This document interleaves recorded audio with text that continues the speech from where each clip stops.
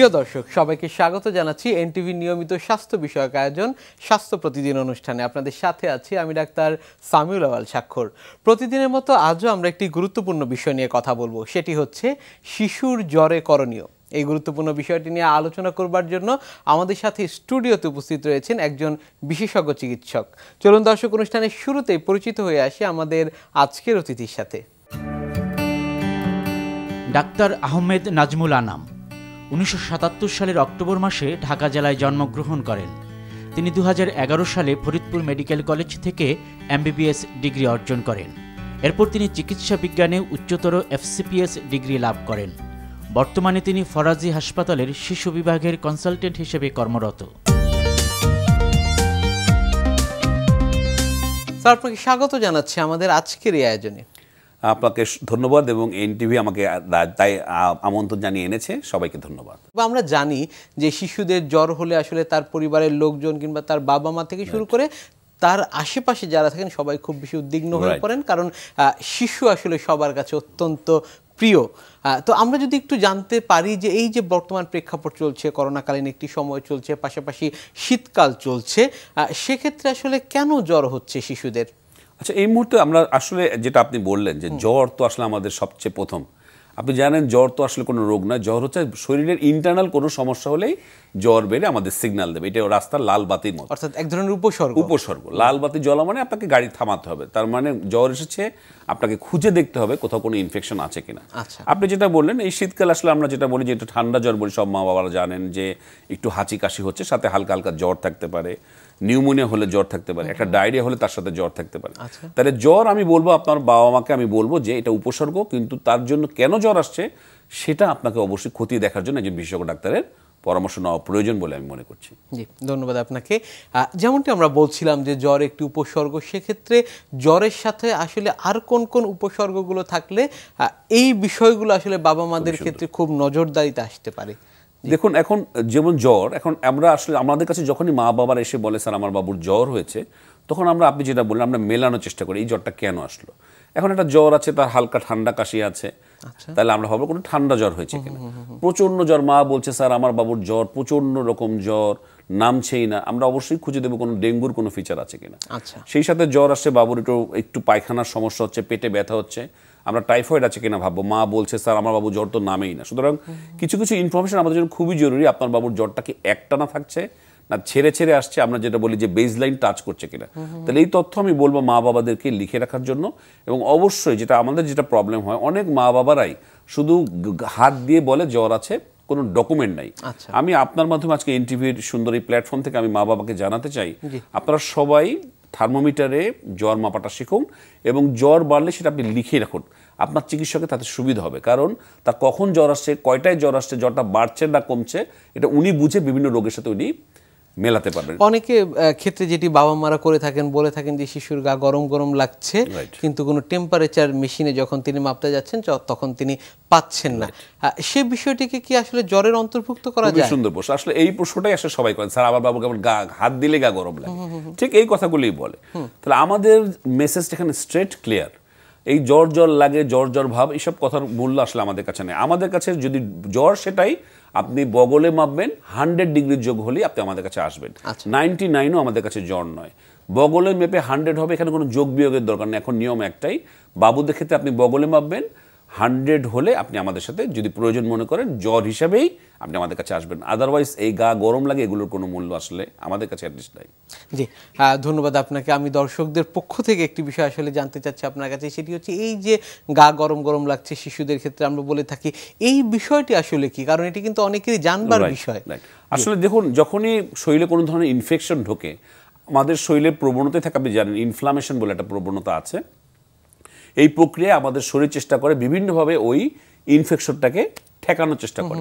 শরীর তার নিজস্বভাবেই তার টেম্পারেচারটা বাড়ায় একটু গরম গরম লাগে। তা আসলে সব কিছুই আসলে শরীরে আমাদের নর্মাল রোগ প্রতিরোধের প্রক্রিয়া। সুতরাং একটু গরম গরম লাগলেই সেটা নিয়ে আপনার এত ভাবার কোনো সুযোগ আছে বলে আমি মনে করছি জি। হ্যাঁ ধন্যবাদ। আপনি থার্মোমিটার ব্যবহারের কথা বলছিলেন সেক্ষেত্রে হচ্ছে বাবা মাদের ক্ষেত্রে আমরা অনেক ক্ষেত্রেই জানি যে সঠিক পদ্ধতিতে কিন্তু টেম্পারেচারটি তারা মাপতে পারেন না. কিংবা তারা এটিও অনেকে জানেন না যে কোন কোন জায়গায় আসলে সেই থার্মোমিটারটি রেখে টেম্পারেচারটি মাপতে হবে এবং হচ্ছে কতক্ষণ ধরে সেই থার্মোমিটারটি রাখতে হবে? এই বিষয়গুলো যদি আমাদের দর্শকদের উদ্দেশ্যে জানিয়ে দেন। আসলে থার্মোমিটারে জ্বর মাপা নিয়ে আমাদের অনেক ভ্রান্তি আছে। আমি বলব আপনি যেটা প্রশ্ন করলেন একটা নবজাতকের ক্ষেত্রে আমরা বলি যে আপনি মিনিমাম তিন মিনিট মাপবেন। আচ্ছা। তাহলে আমরা যে চট করে এক মিনিট মেপে ছেড়ে দিলাম সেটা কিন্তু সঠিক নয়। তাহলে আমরা বলব তিন মিনিট মাপবেন এবং যেটা আমরা যদি এটা থার্মোমিটার হয় আমরা তো সবাই বগলে রাখি। অবশ্যই আপনার কাপড় পোলা খোলা থাকতে হবে কাপড়ের উপর তো দেওয়াই যাবে না। ওয়েল এক্সপোজ করবেন এবং থার্মোমিটার এভাবে না দিয়ে আপনাকে দেখবেন লম্বা করে। লম্বা এটা যদি থার্মোমিটার হয় আমি এভাবে দেবো এবং বগলটাকে আমি থার্মোমিটারের যে টিপটি রয়েছে থাকবে সেটা থাকবে বগলের এইভাবে লম্বা। থাকবে লম্বা। আচ্ছা। এইভাবে থাকবে না সেটা এটাই আমাদের প্রবলেম বাবুদের ক্ষেত্রে এটা দেখা যায় দিয়ে প্রায় দেখা যায় এটা বাইরে চলে যায় মা এটা খেয়াল করতে পারেন না জ্বর এক্স্যাক্ট আসে না। এই জন্য ওনারা বলেন স্যার জ্বর তো মাপি জ্বর তো আসে না। তা আসবে কি করে? আপনার তো থার্মোমিটার যে বাল্বটা এখানে থাকতে হবে। আর একটু বড় বাবুদের আমরা বলি দুই মাস থেকে এক বছরের বাচ্চাদের আমরা দু মিনিট মাপতে মাপতে বলি। এরপরে একটু বড় বাচ্চাদের আসলে এক থেকে দেড় মিনিট মাপলেই যথেষ্ট। তবে ছোট বাবুদের আপনি ইউজুয়ালি তিন মিনিট বা দুই মিনিট আপনি মাপবেন, তাহলে আপনি জ্বর পাবেন এবং জ্বর তো আপনি যেটা বললেন, অনেক জায়গায় মাপা যায়, বগলে মাপা যায় পায়খানা রাস্তা দিয়ে আমরা দিই রেকটাল থার্মোমিটার দিই। আচ্ছা। তো কমনলি আমি বলব আপনি যদি জ্বর এস্টাবলিশ করতে চান আপনি বগলে মাপবেন এবং হান্ড্রেড হলে আপনি আপনার চিকিৎসকের কাছে হ্যাঁ, যেটি হয় যে বগলের ক্ষেত্রে বগলে যখন মাপছে সেই ক্ষেত্রে কিংবা যখন জিব্বার নিচে রেখে মাপছে সেই ক্ষেত্রে কিংবা আপনি যেটি বললেন যে রেকটাল থার্মোমিটারের কথা এই সব জায়গায় পরিমাপের ক্ষেত্রেও কি সময়টি কোনো ফ্যাক্টর হয়ে দাঁড়ায়? না এখানে আমি প্রথমেই বলব যে আপনি যেটা প্রশ্ন করলেন যে থার্মোমিটার হ্যাঁ মাপের টাইমটা আপনার সেম আচ্ছা। কিন্তু যখনই আপনি ভ্যারিয়েশন কেন আমাদের যেটা আমরা কোর টেম্পারেচার বলি যে রেকটাল বা যদি জিব্বার তলায় দেন এটা সাধারণত আমাদের একদম কোর টেম্পারেচার ভিতরের টেম্পারেচারটা নেওয়ার চেষ্টা করে। তাহলে সেই সমস্ত ক্ষেত্রে আপনার ওই অত দূর না দিলেও চলবে। আপনি তিন মিনিট না দিলেও চলবে। তবে আচ্ছা। এর জন্য এখন আমরা যেটা বলি কনফিউশন দূর করার জন্য আপনার কোথাও জিব্বার তলায় এগুলো দেওয়ার দরকার নাই। আচ্ছা। আপনি বগলের তলায় দিন। আর আমি যে টাইমগুলো বললাম নবজাতকের ক্ষেত্রে তিন মিনিট একটু বড় বাবুদের এক বছর পর্যন্ত দুই মিনিট আপনি রাখুন। এবং থার্মোমিটারের টিপটি উপরের দিকে থাকে উপরের দিকে থাকবে রাইট জি।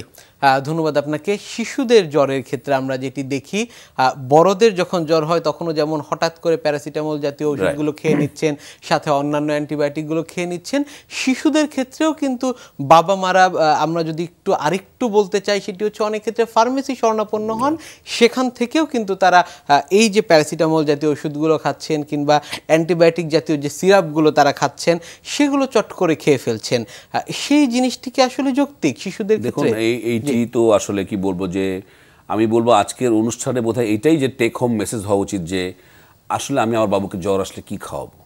তো প্রথম কথা হচ্ছে জ্বরে আমাদের শিশুর যত্ন আপনার প্রথম কাজ হচ্ছে আপনার বাবুকে হাইড্রেশনটা মেনটেন করা। আচ্ছা। আপনি জানেন যে জ্বরে প্রচুরভাবে পানি শরীর থেকে বেরিয়ে যায় বাচ্চাটা একটু দুর্বল হয়ে যায়। আমরা বলব আপনি পানিটা বেশি করে খাওয়ান বাচ্চার কিছু খেতে চায় না। এই সময় আমি যেটা বলি সব মা আমাদের নর্মালি আমরা গুড় বা এই ধরনের জিনিসগুলো আমরা বলি নয় ভাবে কিন্তু এই সময় যেগুলো অল্প পুঁজিতে বেশি মুনাফার মতো আপনি গুড় দিলে তার শরীরে প্রচুর গ্লুকোজের মাত্রাটা বেড়ে যাবে। আপনি গুড় বা গুড় জাতীয় তৈরি খাবার আপনি দিতে পারেন একটু নরম করে দিলেন একটু নরম করে সুজি খাওয়ালেন বা এই ধরনের খাবার আপনি দেবেন। আচ্ছা। আর ইয়েস আমি বলব প্যারাসিটামল ছাড়া আপনি আপনার দিক থেকে আপনার বাবা মা আপনি আপনার দিক থেকে অন্য কিছু দেবেন না। ফার্মেসি থেকে শুনে কোনো অ্যান্টিবায়োটিকের তো সুযোগই নাই যেটা আমাদের দেশে প্রবণতা আপনি জানেন আমাদের দেশে খোলা অ্যান্টিবায়োটিক কিনতে পাওয়া যায় পৃথিবীর আসলে অন্যান্য কোনো দেশে এটা নাই আমার জানা মতে। তো এই যে অ্যান্টিবায়োটিক অযাচিত খাওয়ার প্রবণতা এটাই আমাদেরকে আরও প্রবলেম ফেলে দিচ্ছে। আপনি আপনি জানেন এখন কিন্তু আমাদের নর্মাল অ্যান্টিবায়োটিকগুলো কাজ করছে না। শুরুতে আমাদের বড় অ্যান্টিবায়োটিক প্রচুর আমরা রেজিস্ট্যান্ট দেখতে পাচ্ছি। রেজিস্টার দেখতে পাচ্ছি। জি। ধন্যবাদ আপনাকে। প্যারাসিটামল জাতীয় সিরাপগুলোর কথা আপনি বলছেন সেক্ষেত্রে অনেকেই যেটি করে থাকেন যে কি পরিমাণ ডোজটি হবে তারা কিন্তু আসলে নির্ধারণ করতে পারেন না বাবা মারা সেক্ষেত্রে দেখা যায় অনেক ক্ষেত্রে শিশুদের ক্ষেত্রে যদি আমি বিশেষভাবে বলতে চাই ওভারডোজ হয়ে থাকেন অনেক ক্ষেত্রে। এটি আসলে কীভাবে নির্ধারণ করা উচিত? তারা চিকিৎসকের পরামর্শ নেওয়ার পরেই ওষুধটি ব্যবহার করবেন কিনা? আসলে জ্বরের ক্ষেত্রে এই বিষয়টি আপনার কাছ থেকে জেনে নেব। দেখুন আসলে আমাদের যখন বাবুর জ্বর আসে তখন তো আসলে মাথা ঠিক থাকেন তখন আমি যত তত্ত্ব কথাই বলি তখন তার সব বিবেক বুদ্ধি লোপ পায়। এটাই স্বাভাবিক কেন মানুষ তার বাবুটাকেই সবচেয়ে বেশি ভালোবাসে আমরা জানি। শিশুদের জ্বরের ক্ষেত্রে এই যে প্যারাসিটামল জাতীয় ওষুধগুলোর ওভারডোজ আমরা দিচ্ছি শিশুদেরকে সেক্ষেত্রে আসলে পরবর্তী সময় জটিলতাগুলো কি কি হতে পারে? জি। দেখুন এই যে আপনি যেটা বললেন যে অনেক বাবা মারই আমি বলব না সবাই অনেকেই অনেকেই জানেন অনেক হয়তো জানেন না তারা মনে করেন যত বেশি আমি প্যারাসিটামল দেবো তত দ্রুত জ্বর নামবে। এটা একদমই ভুল ধারণা। আর আপনি যেটা বললেন যে অযাচিতভাবে একটা ছোট আট মাসের বাচ্চাকে দু চামচ খাইয়ে দিল দে জ্বরটা কমে যাবে। ব্যাপারটা কিন্তু অত সিম্পল নয় তাই না? আপনি যে কোনো ব্যাপারেই বিশেষজ্ঞ ডাক্তারের পরামর্শ নজর তবে হ্যাঁ কিছু কিছু ওষুধ আমরা বলি ওটিসি ড্রাগ যেটা আপনি জানেন ওভার দি কাউন্টার ড্রাগ এগুলো ওষুধ আপনি বাসায় রাখবেন এবং আপনি দিতে পারেন কিন্তু অবশ্যই ডোজটা আপনাকে জানতে হবে। আচ্ছা। আজকে আমি এনটিভির দর্শকদের জন্য ছোট করে বলে দিই যে যদি আট কেজির বাচ্চা হয় আপনি এক চামচ দিতে পারবেন। যদি বারো কেজির বাচ্চা হয়, আপনি দেড় চামচ প্যারাসিটামল সিরাপ দিতে পারবেন এবং ষোলো কেজি হলে দু চামচ দিতে পারবেন, বিশ কেজি হলে আড়াই চামচ। তাহলে আট কেজিতে এক, বারো কেজিতে দেড়, ষোলো কেজিতে দুই, বিশ কেজিতে আড়াই। একটু যদি জানা থাকে আমরা কিন্তু সঠিকভাবেই আমি দিতে সেক্ষেত্রে ওজনের সাথে কি বয়সের কোনো সামঞ্জস্য আমরা বয়স দিয়ে আমরা বলব যে আসলে কেন দেখা যাচ্ছে একটা এক বছর বাচ্চা কারও ওজন সাত কেজি কারও ওজন বারো কেজি। আচ্ছা। আমরা সবসময় বলব আপনি ওজন মাপবেন এই জন্য আমরা ডাক্তাররা যারা শিশু ডাক্তাররা বাবুরা আসলে আমরা ওজনটা মাপি। কারণ ওজনের সাথে ডোজের ভ্যারিয়েশন হবে। সুতরাং আপনি বয়স দিয়ে মেলাতে গেলে আমি বলব এটা এক্স্যাক্ট হবে না। আর আপনি জানেন বাবুদের ক্ষেত্রে কিঞ্চিত এদিক ওদিক হলেও তাদের প্রবলেম হতে পারে। আপনি যেটা বললেন প্যারাসিটামল সিরাপ যদি ওভারডোজ করেন আপনার বাবুর বাবুর গায়ে র্যাশ অ্যালার্জির সমস্যা বাচ্চা অতিরিক্ত ঠান্ডা হয়ে যেতে পারে। আপনি জ্বরের জন্য দেখা যাচ্ছে ওভারডোজ সে ঠান্ডা হয়ে যেতে পারে বেশি। আচ্ছা। এবং অবশ্যই আপনি জানেন স্টিভেন্স জনসন সিন্ড্রোম বলে একটি রোগ আছে অনেক বাবুর অ্যালার্জির মতো সমস্যা পার্শ্ব প্রতিক্রিয়া হতে পারে। রিয়াকশন বলি এবং অবশ্যই লিভারে তো ক্ষতি হতে আপনি যদি একটা নির্দিষ্ট মাত্রার উপরে চলে যান বাবুর লিভার পর্যন্ত ফেল করতে পারে। সুতরাং অবশ্যই আপনাকে ঝুঁকিটা মাথায় রাখতে হবে এবং সঠিক ডোজ দিতে হবে আপনার বাবুকে। জি। হ্যাঁ ধন্যবাদ। অ্যান্টিবায়োটিকের বিষয়টি আসি সেটি হচ্ছে অনেক ক্ষেত্রে জ্বর থাকে সাথে অন্যান্য উপসর্গগুলোও থাকে। অনেকে যেটি মনে করেন যে জ্বর একদিন দুই দিন কিংবা তিন দিন যখন থাকছে তার আসলে অ্যান্টিবায়োটিক প্রয়োজন। সেক্ষেত্রে আসলে পরবর্তীতে তারা কিন্তু অ্যান্টিবায়োটিক সিরাপগুলো ব্যবহার করে থাকছে।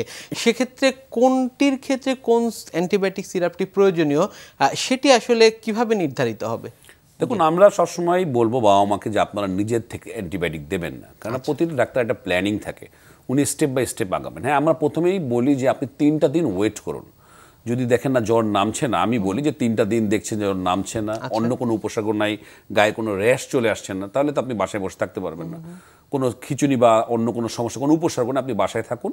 তিন দিন পর আপনার ডাক্তারের সাথে পরামর্শ করুন যদি ভাইরাল ফিভার হয় তাহলে তো আসলে অ্যান্টিবায়োটিক কোনো প্রশ্নই আসে না। আচ্ছা। তাহলে ওটা নিজেই সাবসাইড করবে এবং সেটা চিকিৎসকই বুঝতে পারবেন।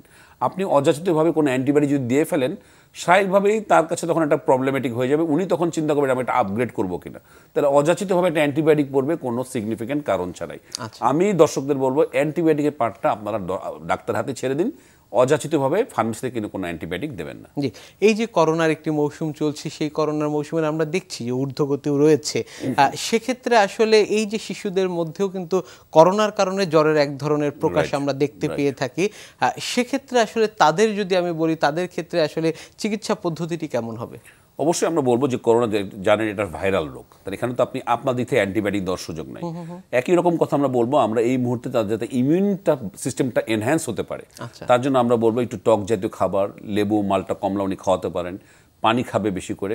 আমরা বলি জিঙ্ক জিঙ্ক সিরাপ বলতে বলি এবং ভিটামিন ডি এই মুহূর্তে আমরা যোগ করতে পারি। তাহলে উনি এই জিনিসগুলো রাখবেন সাথে নাপা প্যারাসিটামল দেবেন উনি খেয়াল করবেন কোনো শ্বাসকষ্ট হচ্ছে কিনা বা অন্যান্য কোনো উপসর্গ দেখা দিচ্ছে কিনা। তাহলে অবশ্যই উনি ডাক্তারের সাথে যোগাযোগ করবেন। জি। আহ, বড়দের ক্ষেত্রে জ্বর হলে আমরা যেটি দেখি যে গা মুছে দেওয়া বা স্পঞ্জিং আমরা যেটিকে বলি আহ, শিশুদের ক্ষেত্রেও আসলে এই বিষয়গুলো গুরুত্বপূর্ণ কিনা? খুবই গুরুত্বপূর্ণ কারণ আপনি যখনই গাটা আপনি মুছে দেবেন বাবু কিন্তু আরাম পাবে। কিন্তু যেটা আমাদের প্রবণতা হচ্ছে আমরা ঠান্ডা পানিতে গা মোছাই। আমরা বলব আপনি tap water normal tap water যেটা ট্যাপ ওয়াটার যে টেম্পারেচার সেটা অথবা উষ্ণ গরম পানি দিয়ে আপনি গাটা মোছাবেন। ঠান্ডা পানি দিলে বাবুর কি হবে? একটা শিভারিং হতে কাঁপুনি চলে আসতে পারে। অনেক মা বলেন স্যার আমার বাচ্চা তো খিচুনি হয়ে গেছে। যেটা আমি মনে করি এটা একটা ইম্পর্টেন্ট জ্বরের সাথে খিচুনি একটা বিরাট আপনি জানেন জ্বরের সাথে আসলে খিচুনি যুক্ত হয়ে কি কি উপসর্গগুলো থাকছে এবং কোন কোন রোগগুলো হচ্ছে এই বিষয় নিয়ে আমরা কথা বলব। তবে আমাদের এই অনুষ্ঠানের একটি নিয়মিত সেগমেন্ট হচ্ছে বিভিন্ন খাদ্যের পুষ্টি গুণাগুণ সম্পর্কে আমাদের দর্শকদের জানিয়ে দেয়া। প্রিয় দর্শক, দেখছিলেন স্বাস্থ্য প্রতিদিন। কথা হচ্ছিল খুব গুরুত্বপূর্ণ একটি বিষয় নিয়ে। অনুষ্ঠানের এ পর্যায়ে দেখে নেব বিভিন্ন খাদ্যের পুষ্টি গুণাগুণ সম্পর্কে আমাদের পুষ্টিবিদের কাছ থেকে। প্রতিদিন সময় করে ত্বকের যত্ন নেওয়া উচিত। এটি শুধু মেয়েদের ক্ষেত্রে না, ছেলেদের ক্ষেত্রেও সমানভাবে প্রযোজ্য। এখন কিন্তু ছেলেরা ত্বকের যত্নে বেশ সচেতন। আমার কাছে অনেক পেশেন্টরা আসে তাদের স্কিন কেয়ার রুটিন সম্পর্কে জানতে। এখন ছেলেরা মিডিয়াতে কাজ করছে, নানা ধরনের পেজেন্টে অংশগ্রহণ করছে এবং উৎসবের আগেও কীভাবে গ্রুমিং করবে সেটি সম্পর্কেও জানতে আসেন। আর যাদের বয়স একটু তিরিশের ঊর্ধ্বে, তারা তো অ্যান্টি এজিং বয়সের চাপ কীভাবে কমানো যায় সে ব্যাপারেও ভীষণ কনসার্ন ছেলেদের স্কিন কেয়ারে যে বিষয়টি আসে সেটি হচ্ছে ছেলেরা একটু ফোমিং ক্লিনজার পছন্দ করে।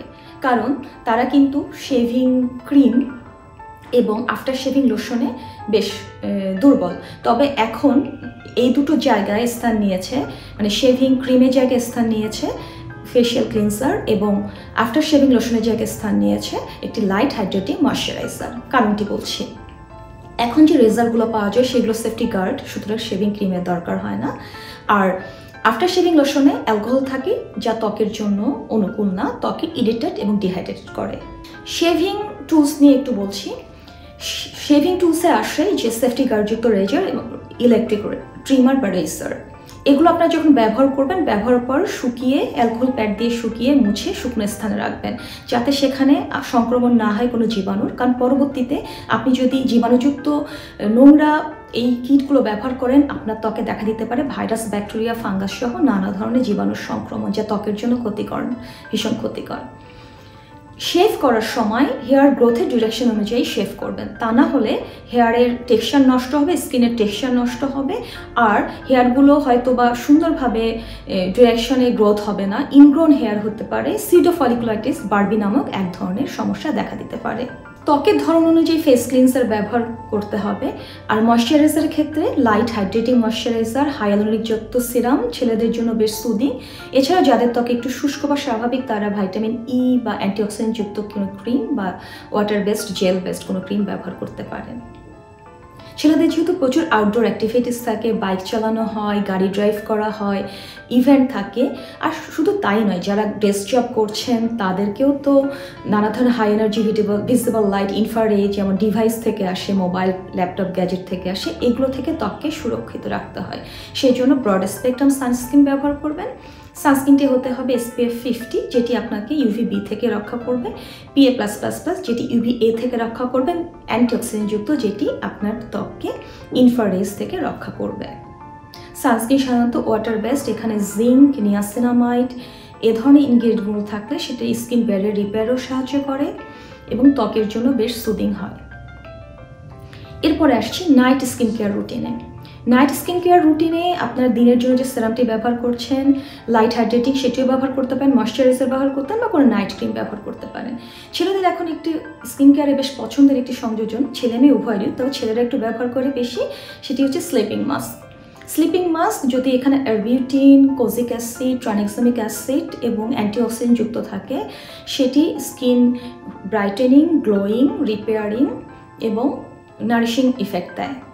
আর স্লিপিং মাস্ক ব্যবহারের অ্যাডিশনাল বেনিফিট যেটি হচ্ছে, ছেলেরা কিন্তু একটা শীত মাস্ক বা কোনো একটা প্যাক মুখে লাগিয়ে দশ মিনিট অপেক্ষা করবে, এটি একটু অপছন্দ করে। সেক্ষেত্রে তাদের স্লিপিং মাস্কটি একাধারে night repair night time skin care ingredient এবং মাস্কের দুটো কাজই করে।